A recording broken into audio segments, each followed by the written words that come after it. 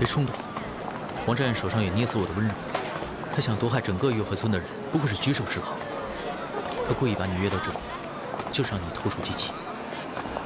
有办法将这全村的人都撤出去吗？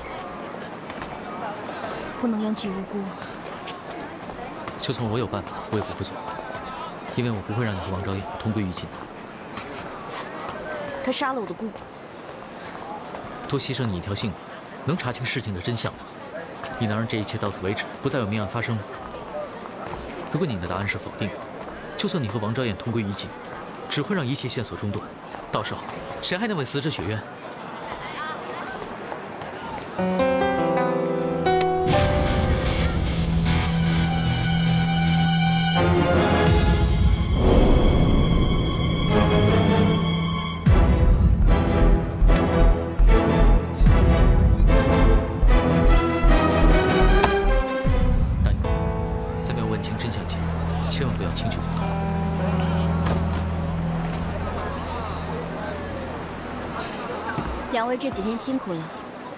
村的桂花茶呢，可以安心凝神。两位不妨坐下来漫尝，或许可以帮助两位一清心中的疑虑困惑。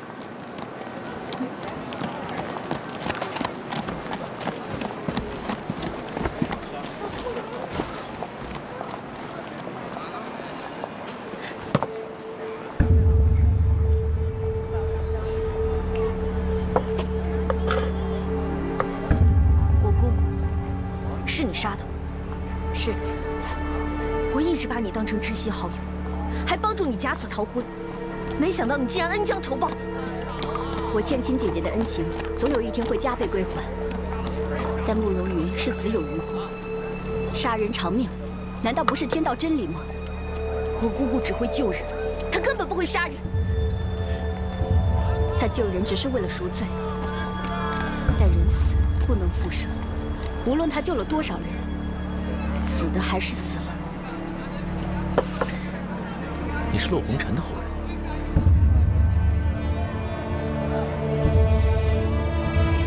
没错，洛红尘就是我爷爷。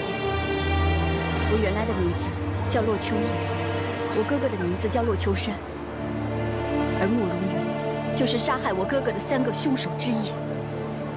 你有何证据？无凭无据，我又怎敢忘恩负义，令亲姐姐痛恨伤心呢？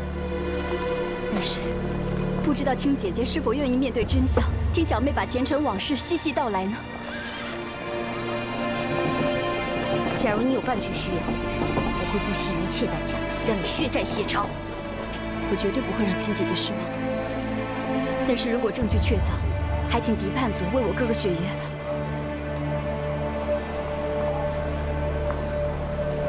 如果这一切是真实的，我会还你哥哥一个公道。谢谢狄大人。当年我爷爷落红尘，以天人之智，一双天宫妙手打造出红尘六绝之后，他知道会为后人带来灾祸。但是六绝是爷爷一生的心血所在，他实在是不忍将其毁去，令藏在六绝背后的秘密失传。于是，爷爷临终前，便要他的后人。从此归隐山林，永远不得踏足江湖。所以，我和哥哥洛秋山是从小在深山老林里长大的，一直都过着与世无争的日子。月月，我回来了，哥哥。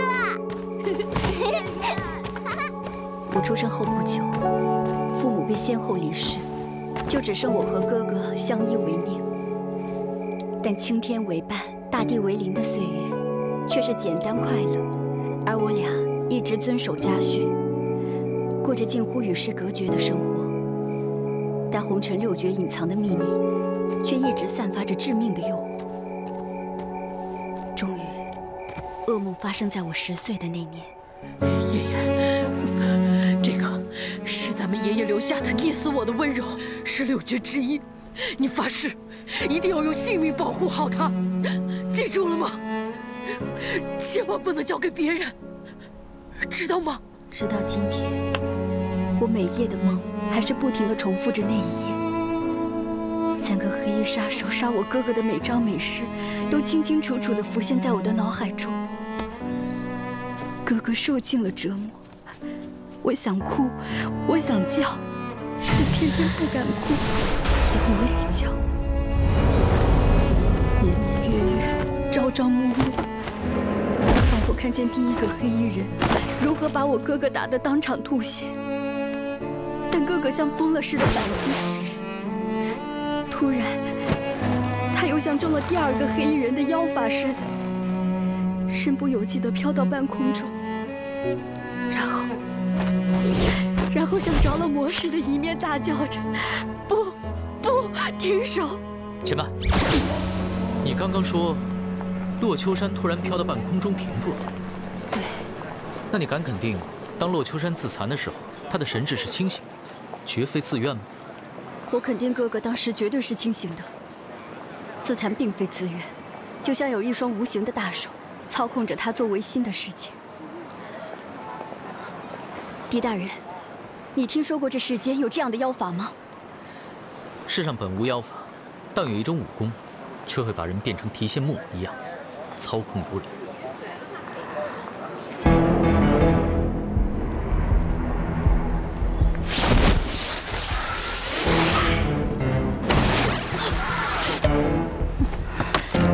王昭燕，不，骆秋雁。十年。前的事情无凭无据，任你胡编乱造。但你杀害我姑姑、重伤王浩德之事却是证据确凿。现在你的救命符就在我手上，我劝你还是束手就擒吧。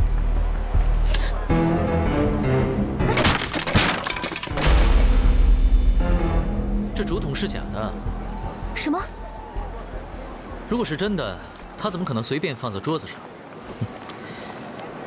过去的王昭燕爽朗单纯，胸无半点城府，而如今的洛秋燕，却是机关算尽。我们所走的每一步，都在你的计算之内。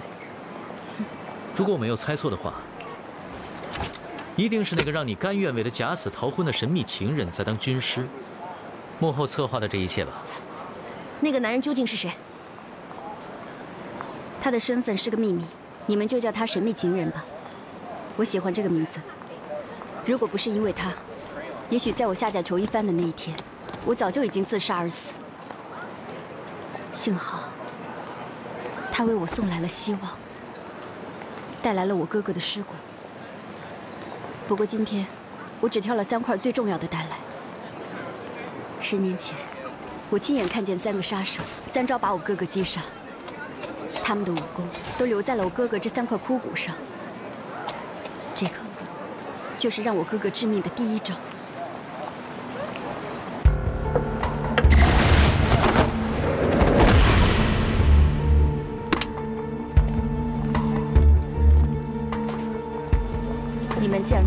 山庄，就一定知道，普通人的尸骨就算埋上十年，也不至于腐朽至此吧？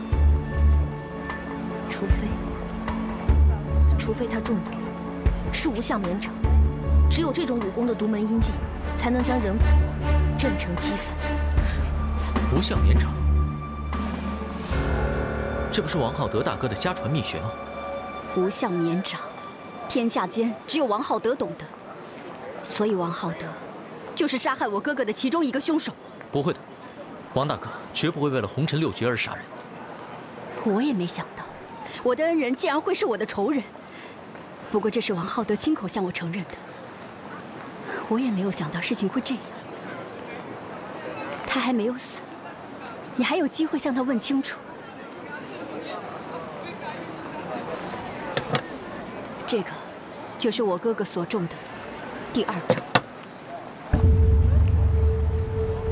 请你们告诉我，为什么我哥哥会飘到半空，失控自残？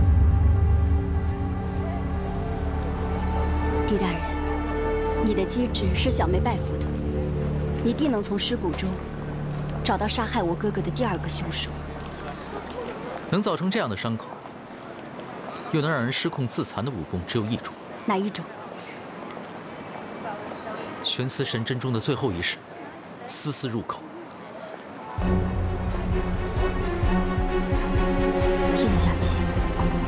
会有这样的神功。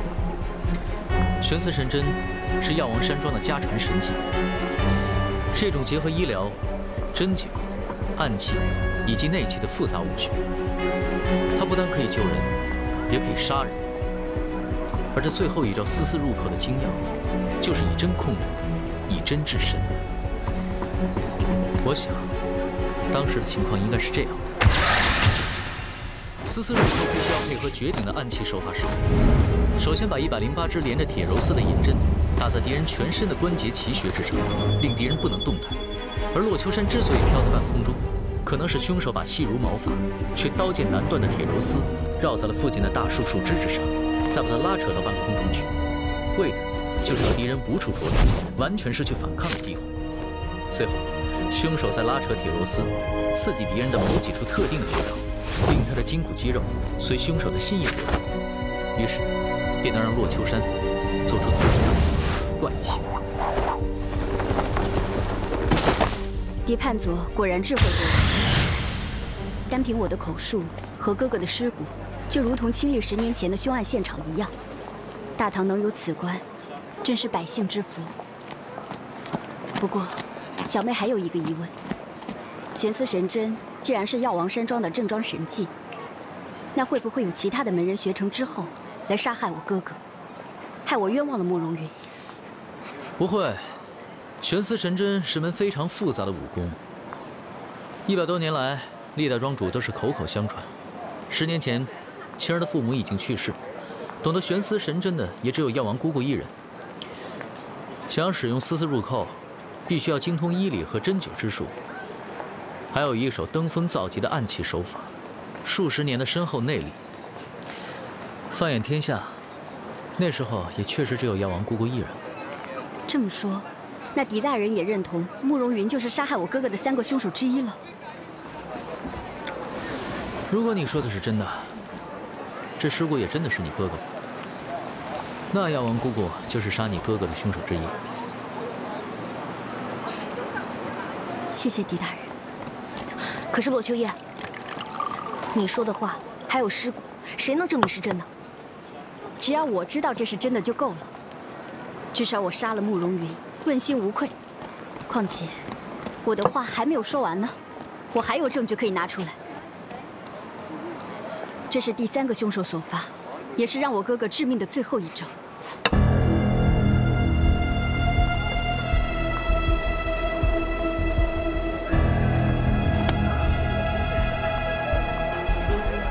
是人的左胸骨，可是这上面没有任何伤痕。这也是让我百思不得其解的。那个人用的是剑，但剑并没有碰到我哥哥。而且我哥哥的身上也不见伤，更不见血，所以第三个凶手的身份一直成谜。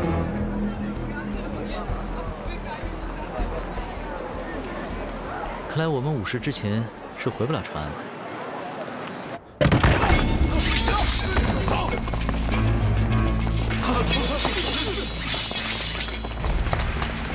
串谋侵犯狄仁杰，毒害守城兵将，违命离开皇城。全部给我拿下！等等，这事儿是我干的，把我绑了吧！大家放下兵器，我让大家伙把刀放下，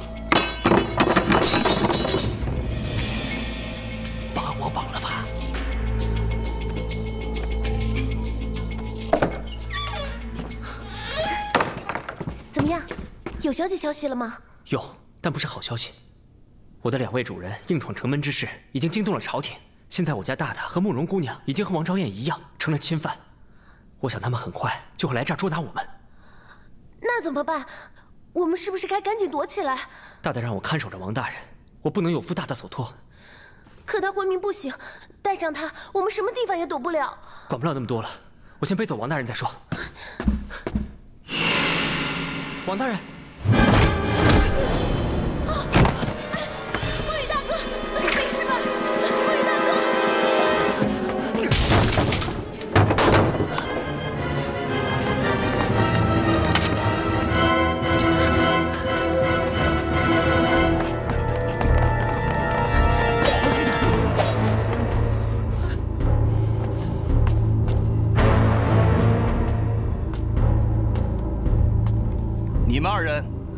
党的同谋，拿下！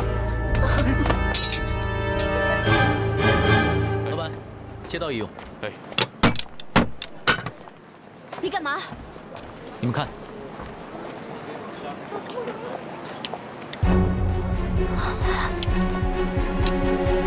剑不触底，不伤皮肉，却能从中间把人的胸骨分开。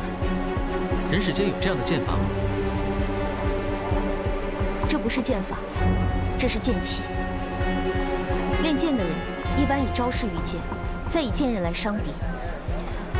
只有练成剑气的人，才能够借剑发劲，隔空伤人。可这只是江湖的神话罢了，从未听闻有人练成过。快告诉我，你哥哥是如何中招的？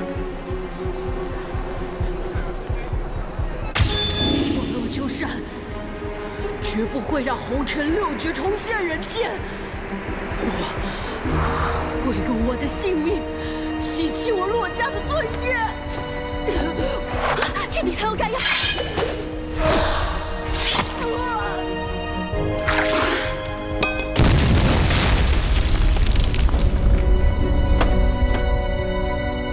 哥哥死了之后，这个家我再也不能回去了。找到了，当时我脑海里只有一个念头：捏死我的温柔，就是我唯一的希望。我绝对不能失去他，因为我要报仇。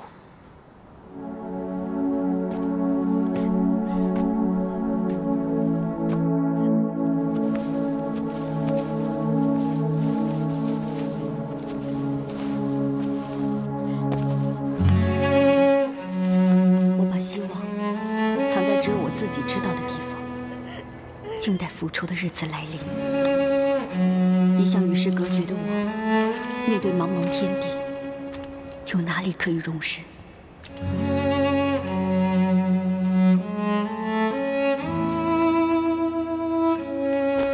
求求你了！哎，叫你走开，别挡着我做生意。走开。腻是了，这帮是用软草编的。包子，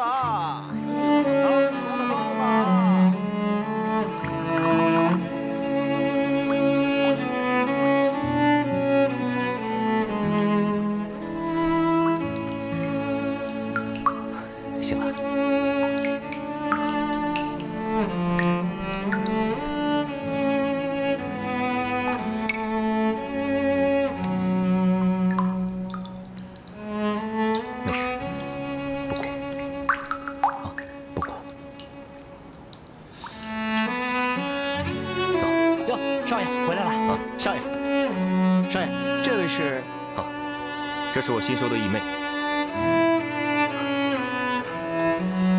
不怕。从今天起，你就是我的妹妹王昭燕，这就是你的新家，记住了没有？来，我带你去熟悉熟悉。就是这样，我变成了王浩德的妹妹，在长安过了十年锦衣玉食、荣华富贵的生活。天可怜见，命不该绝，谁知道养育了我十年的人，竟然会是我的杀兄仇人。你知道王大哥为什么要收养你吗？他一定就是为了找到六绝的所在，和隐藏在背后的秘密。那这十年来，王大哥有没有问过你六绝的事情？没有，既然没有，那王大哥耗费十年的心血把你养育成人的目的，绝非和这六绝有关。不，红尘六绝是唯一的原因，是王浩德亲口向我承认的，要不我也不会用，要不我也不会用捏死我的温柔，来毒害他。你是什么时候认识这个秘密情人的？他是什么时候找到你哥哥的尸骨的？我们是一年前认识的，找到哥哥的尸骨，是大婚前一个月的事情。所以，你找我来帮助你假死逃婚，是为了让你更方便的去实施你的复仇计划。但御医的死是在你大婚前，你和他无冤无仇，为什么要毒杀他？是他让我杀的。又是这个秘密情人，没有告诉我为什么，我也没有问原因。只要是他让我办的事情，我就一定会办到。你这个秘密情人和朝廷有关系吗？御医的死，最受伤害的就是武媚娘。你的情人让你去杀御医，就是要嫁祸给武媚娘，不让她进宫。而皇宫中最不想让武媚娘进宫的，就是萧淑妃。所以你的情人不单是朝廷中人，也和萧淑妃有关，对不对？我都说了，我没有问原因，而且我也不会去问。你的手上已经有了捏死我的温柔，想要报仇已经是绰绰有余了。但你又再次潜入普氏殿去寻找其他的武绝，是不是也是为了这个神秘情人？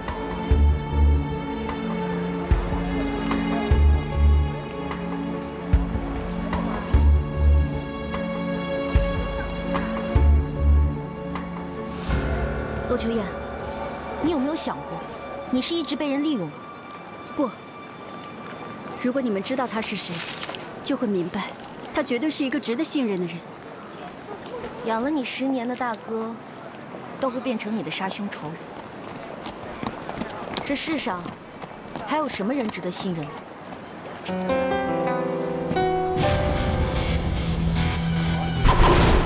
如果我猜的没错。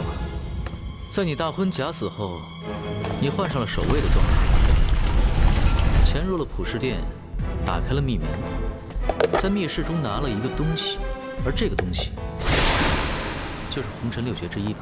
正是慕容云所穿的解铃还需系铃人。可就在这个时候，王浩德进来了，所以你就躲在殿中不出来。那你想过王大哥为什么会出现吗？不知道。我虽然不知道王大哥为什么会知道你在大殿里面，但你有没有想过，王浩德进入殿中是为了救你？救他？为什么要救他？因为那天我的出现，我怀疑杀死御医的凶手仍然在殿中，所以我让严大人加派人手，和王浩德一起去搜查普氏殿，怕我先找到他。于是先我一步进入殿中，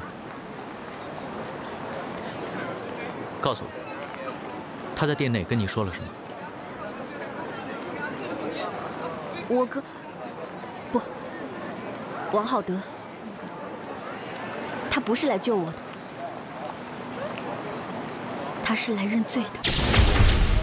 我想一个人进到殿内静静的思考案情，没有我的允许，谁都不许进来。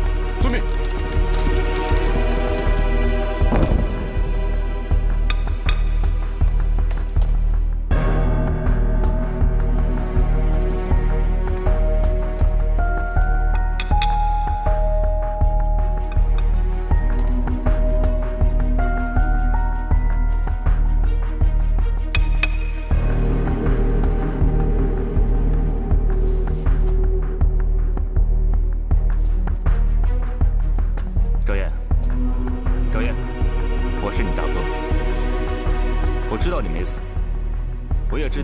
没中什么蛊毒现在外面已经加派了官兵把守，不久狄仁杰也会进到殿内来彻底搜查。他虽然是汴州一个小小的叛族，但是你绝对不能小看他，他一定会找到你的藏身之处。所以你听哥哥的，有什么事情出来，我们坐下来谈。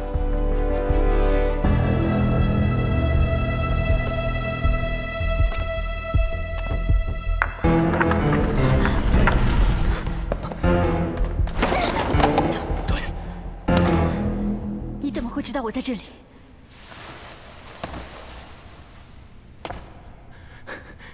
赵岩。因为你知道，御医是被红尘六绝所杀，天下间能有这种毒药的，只有洛红尘的后人。你根本一早就知道我的身份。赵岩，你听我跟你解释。别靠近我，不然我就让你尝尝捏死我的温柔。我不是王昭言。我是洛秋山的妹妹洛秋燕，你就是当年杀死我哥哥的凶手之一，对不对？对。我王浩德这一生做的最后悔的一件事情，就是十年前对你哥哥做的一切。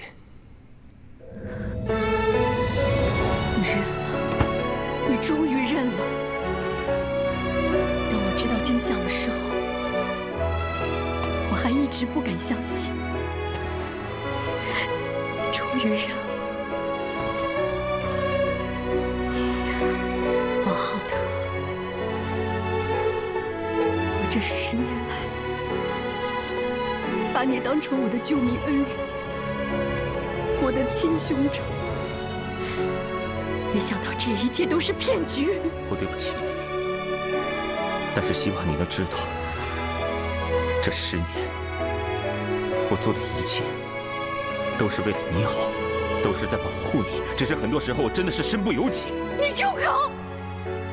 我不想再听你说了。如果你想活着出去，就必须听我的。不，我不会再上你的当了。我现在就要替我哥哥杀了你！放开！听我说！你放开！你现在要杀我，可以，杀我呀！你以为我不敢杀你吗？你现在要杀我，我绝对不会还手。赵岩，我只是希望你能知道，我当年收你做我义妹，是不想让别人知道你是红尘后人的身份，否则你的命运会和陆秋山一样凄惨。我希望你能借着汪昭燕的名字，能平安幸福的过一辈子。这普世殿不安全，对你来说没有安全的地方。无论你藏到哪儿，早晚都会被他们找到。现在你只有一个人可以相信了，那就是我。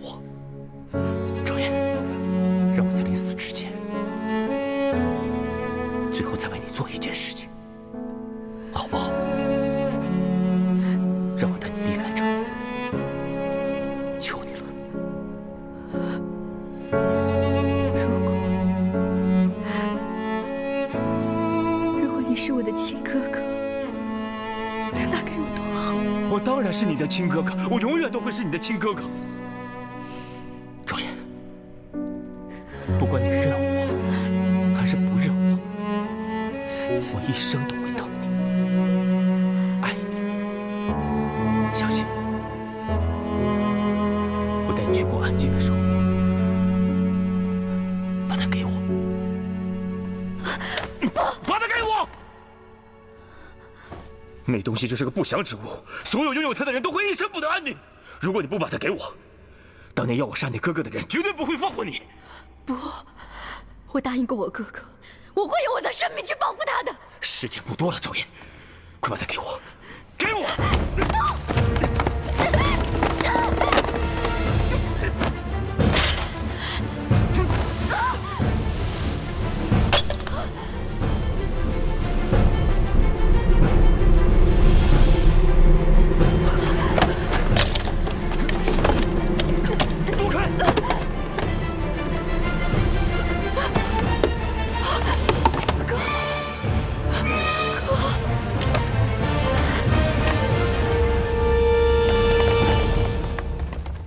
属下参见蒋大人。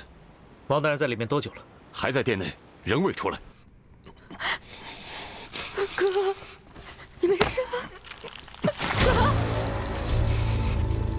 哥，哥，你松手，松手！哥，哥，松手，松手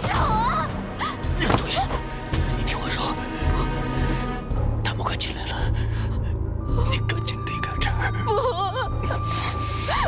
不，哥，松手！哥，快走！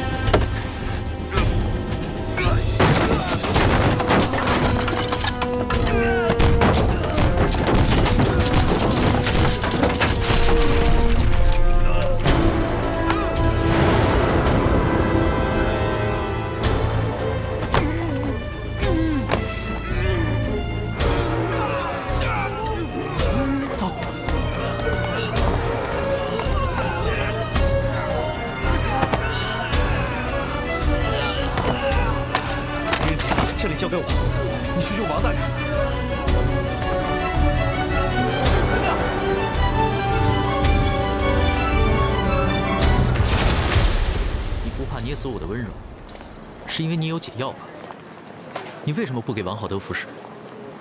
难道你真的想杀死他？解药一定要在中毒前服用，否则无效。我根本就没有办法救他。之后，我就一直躲在长安城，跟在你们身后去了药王山庄，并且杀了慕容云，还逼他交还了这个六绝之一的易容秘宝——女为悦己者容，就是当年三个黑衣凶手从我家里搜出来的。你现在相信，你姑姑不是无辜的了吧？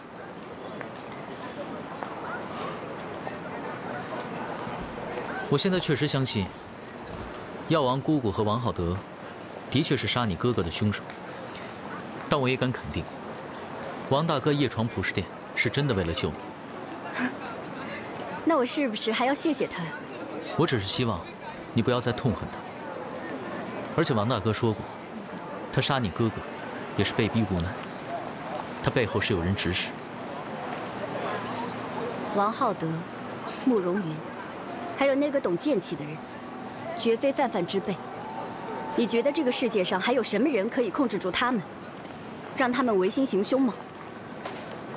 或许没有，但如果真的有这个人，那他一定是一个比恶魔还可怕百倍的人。或许他才是你真正的仇人。如果真的有这么一个人的话，那我们今天的见面就没有白费。我要让你们。为我做一件事情，我们不是疯子，而是你的敌人，没必要为你做任何事情。如果我交给你们的事情办不成的话，我的秘密情人便会在长安城的中心释放，捏死我的温柔。到那个时候，长安城便会变成鬼域，大唐皇宫死个鸡犬不剩。你疯了吗？你的仇恨跟朝廷和长安城的百姓有什么关系啊？当然有关。我的爷爷根本就不姓陆，而是姓杨。难道你们是隋朝皇室之后？正是。爷爷打造六绝，本来就是为了复兴大隋，但是后来改变了主意，郁郁而终。但是，隐藏在六绝背后的秘密，正是灭唐复隋的宝藏。只要我找到了宝藏，我便什么人都可以不用怕了。为哥哥复仇，也会变得更加轻而易举。只是爷爷在临终前，并没有传下宝藏的藏处，只是说，在普世殿里可以找到线索。你是要我们把这线索找出来？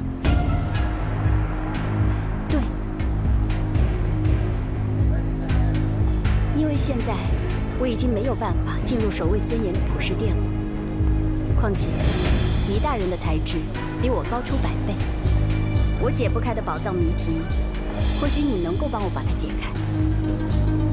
当然，我不会让你们白干的。只要你们为我找到了线索，我便会把捏死我的温柔交给你们。到时候，你们就可以用它作证，为那个武媚娘摆脱杀人的嫌疑。但武媚娘已认罪，会在今晚此时行刑。那你们就只剩下四个时辰了。还有，这件事情你们绝对要保密。要是让我知道有一个人撤离长安城，我也会立刻放毒。你真是疯了！如果我们找到了线索，怎么联系？我自有办法和你们见面。且慢，爷爷说过，有一句话可以帮助解开线索。你说。春雨绵绵，七毒素。这不是谜语吗？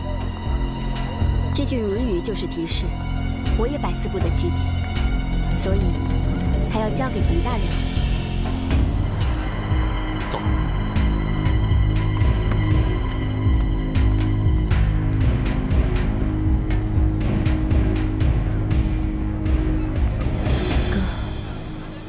希望妹妹所做的都是对的。驾！驾！驾！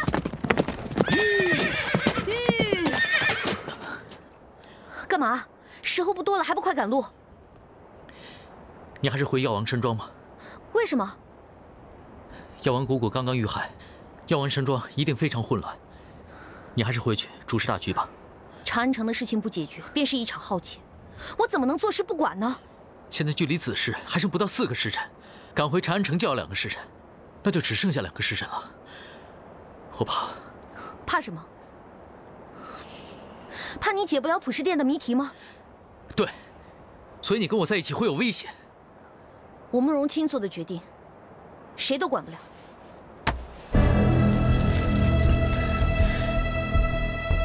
我只是怕无力再管你了。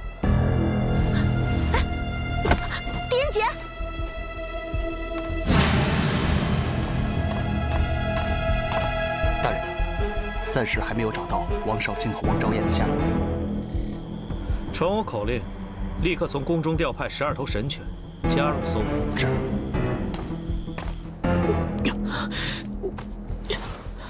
你现在不能动，你的手脚已经被我用玄丝神针封住了。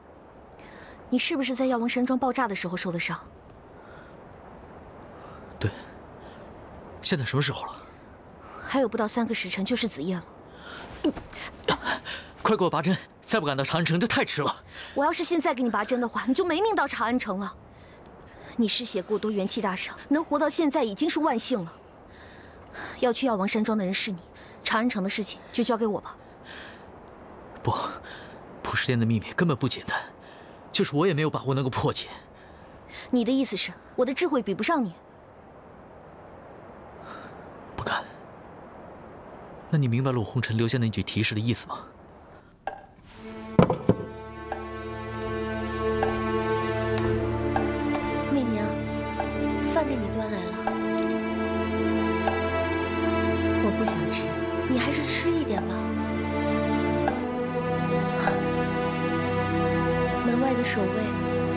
搭建今晚用的刑台，你这一顿就多吃一点吧。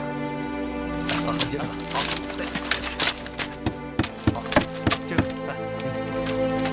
很好啊。我们现在已经是毒害守城兵将，违命闯出城门的通缉犯，想要再次进入城门也是问题。黄龙要闯入这守卫森严的普世殿呢。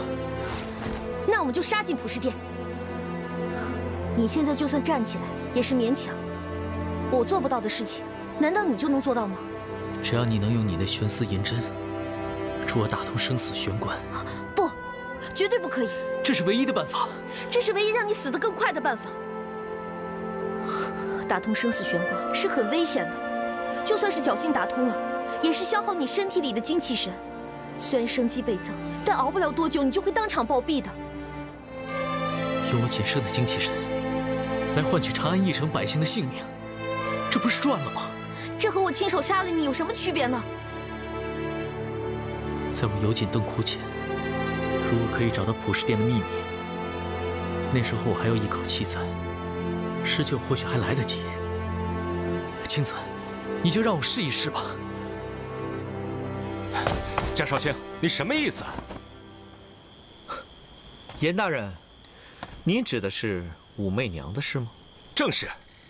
既然查出了御医之死是跟那王昭燕有关，你为什么不立刻上报大理寺撤销对武媚娘的控诉？我刚接到消息，那皇后已经命人布置刑场，准备如期在子时烧死武媚娘，而且皇后还要亲自到感业寺监刑。严大人稍安勿躁，王昭燕毒死御医一案。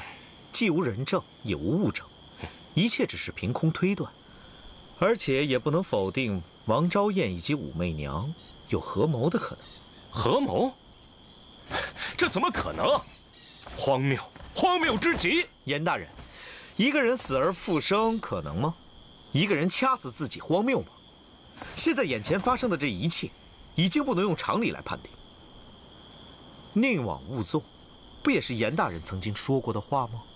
嗯，况且我已经禀报过大理寺，说谋害御医一事，王昭燕才是第一义凶，但是要烧死武媚娘是皇后的决定，我根本无法左右。只有在子时以前找到王浩德或者王昭彦其中一人，或许武媚娘还有一线生还的机会。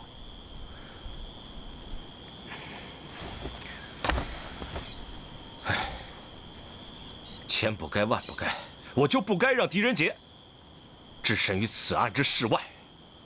昨夜狄仁杰抗命离城，已经成了通缉重犯，已经不能置身此案之外。但狄仁杰固执非常，在子时之前必定偷返长安。因此，我特别为他做了一个安排，来替他接风。大风，走，走，跪下，快点，嗯，快走！狄仁杰虽智谋百出，却感情用事。要捉他最好的方法，就是利用他的。